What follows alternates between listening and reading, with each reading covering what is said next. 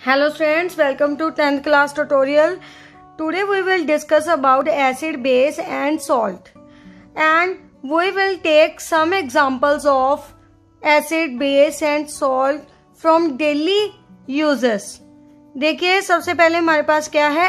Acid daily uses में अगर हम देखें लेमन है। लेमन क्या है? एसिड कौन सा एसिड इसमें प्रेजेंट होता है? Citric acid. और हम यूज़ करते हैं विनेगर को। विनेगर मोस्टली यूज़ किया जाता है विनेगर को पिक्कल में। इसमें कौन सा एसिड प्रेजेंट होता है? हमारे पास इथेनोइक एसिड।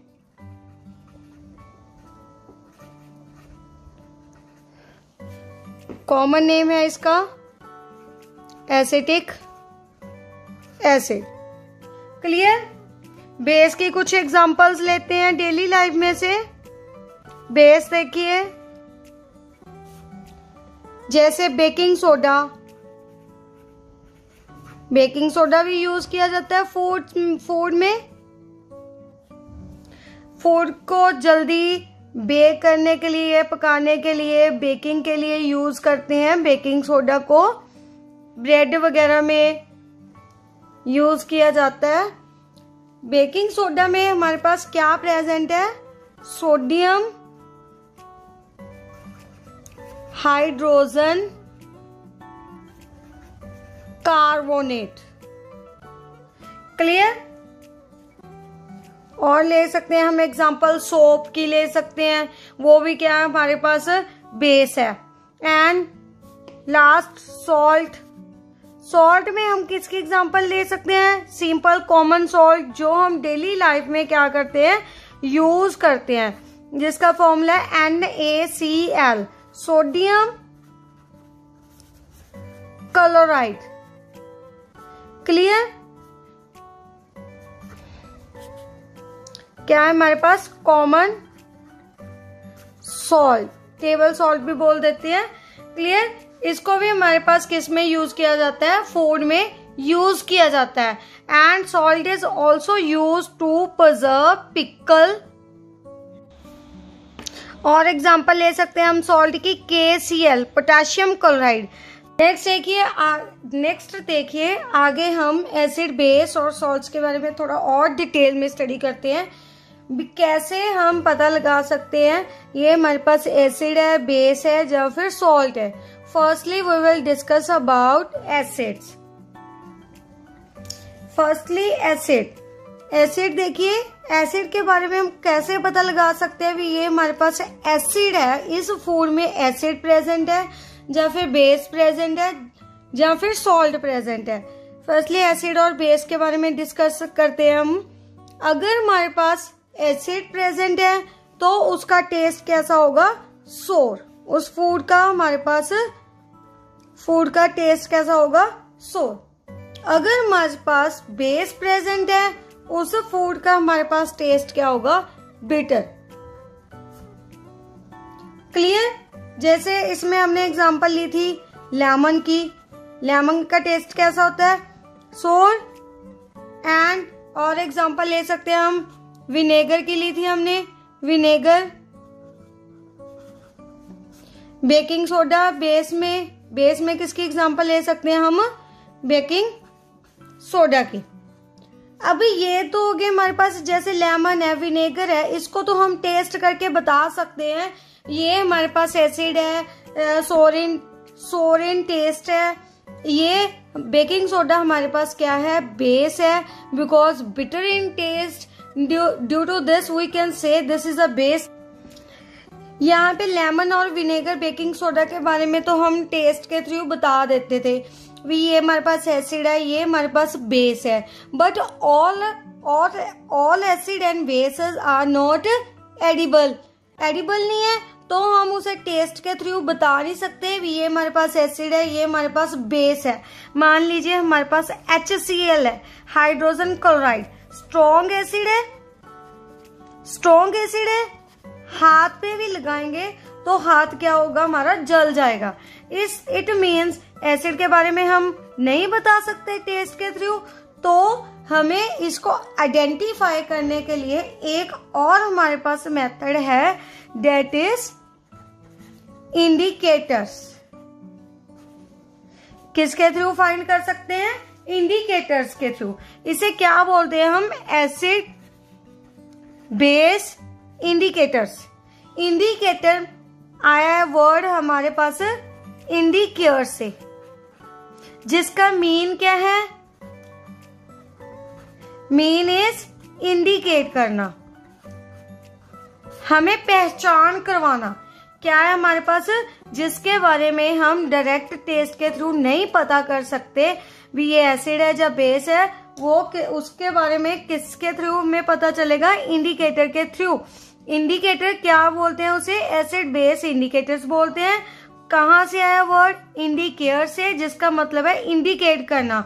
उसके बारे में प्रॉपर बताना। भी हमारे पास एसिड है, या फिर बेस है। क्लियर अब इंडिकेटर्स आ गए इंडिकेटर ने हमें बता दिया वही वो हमारे पास एसिड है, जब बेस है। बताएँगे कैसे, किस प्रॉपर्टी से वो है हमारे पास कलर क्या कर देंगे? जब भी हम इंडिकेटर पे क्या करेंगे एसिड डालेंगे या फिर बेस डालेंगे तो इंडिकेटर का क्या हो जाएगा? कलर क्या हो जाएगा? चेंज हो जाएगा। या फिर कलर के थ्रू या फिर ऑर्डर के थ्रू ऑर्डर मीन्स उसकी स्मेल क्या हो जाएगी? हमारे पास चेंज हो जाएगी।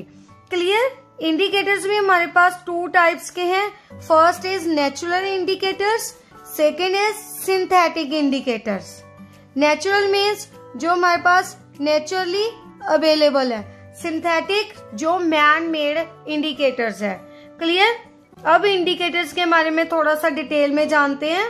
फ़र्स्ट इज़ नेचुरल इंडिकेटर्स कौन से होते हैं हमारे पास? नेक्स्ट देखिए नेचुरल नेचुरल में फ़र्स्ट आ गया हमारे पास लिटमस लिटमस किससे फॉर्म होता है? लिचन से लिचन से एक्सट्रैक्ट किया लिटमस पेपर आ गया।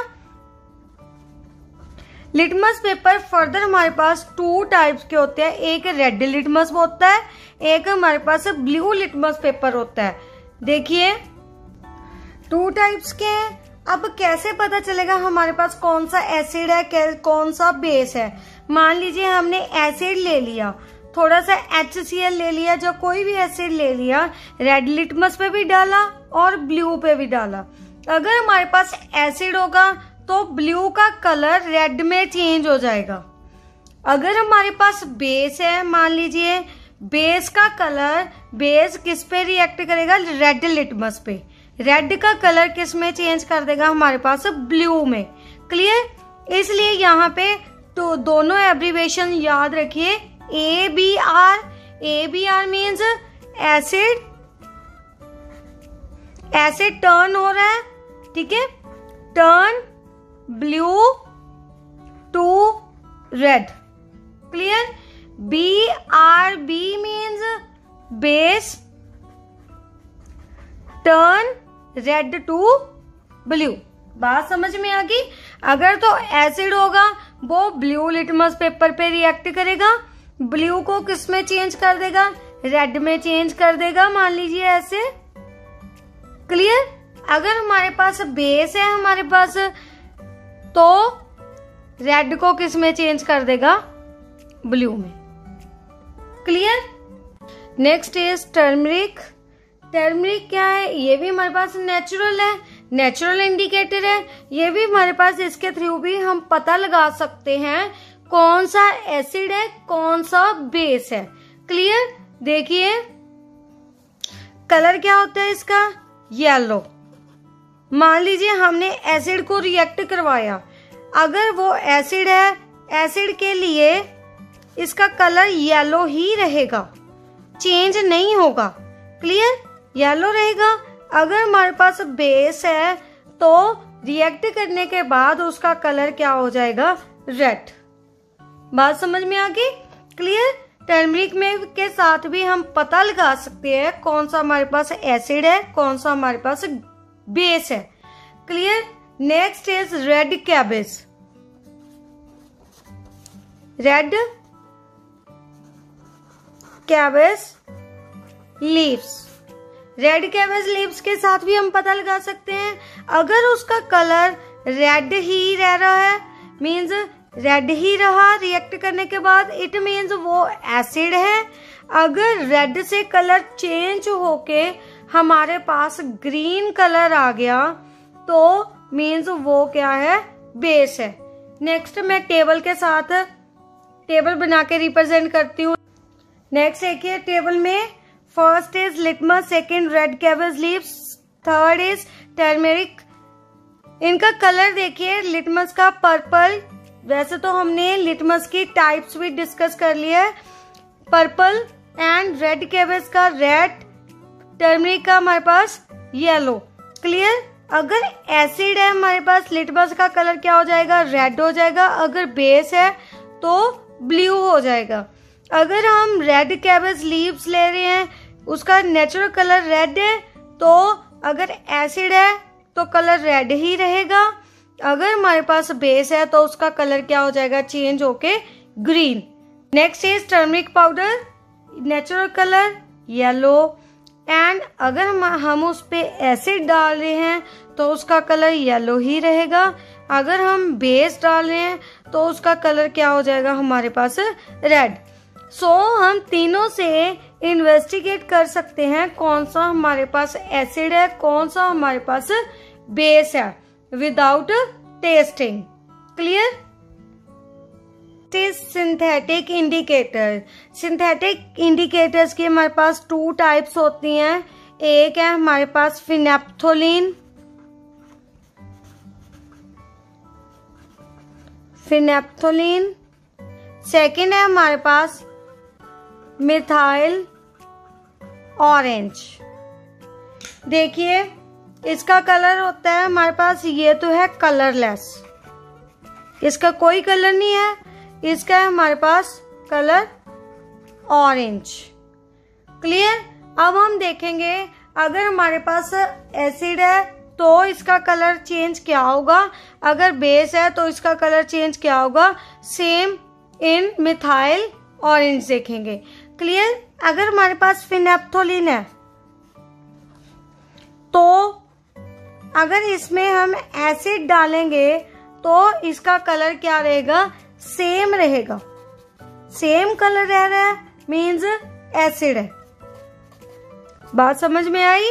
फिनेप्थोलिन पे हमने क्या किया? कुछ ड्रॉप्स एसिड की डाली। अगर उसका कलर क्या रह रहा है, हमारे पास सेम है तो हमारे पास क्या है? एसिड प्रेजेंट है। अगर उसका कलर चेंज होके पिंक हो रहा है क्या कलर आ गया हमारे पास? पिंक। इट मीन्स हमारे पास क्या प्रेजेंट है? बेस प्रेजेंट है। क्लियर अब हम मिथाइल ऑरेंज में देखते हैं। अगर एसिड हुआ तो इसका कलर मिथाइल ऑरेंज का कलर पिंक हो जाएगा। अगर क्या है हमारे पास? एसिड प्रेजेंट है। अगर हमारे पास बेस प्रेजेंट है तो इसका कलर क्या हो जाएगा? येलो। बेस के लिए कलर चेंज क्या आएगा हमारे पास? येलो। सो नेचुरल इंडिकेटर और सिंथेटिक इंडिकेटर से हम पता लगा सकते हैं कौन सा हमारे पास एसिड है, कौन सा हमारे पास क्या है?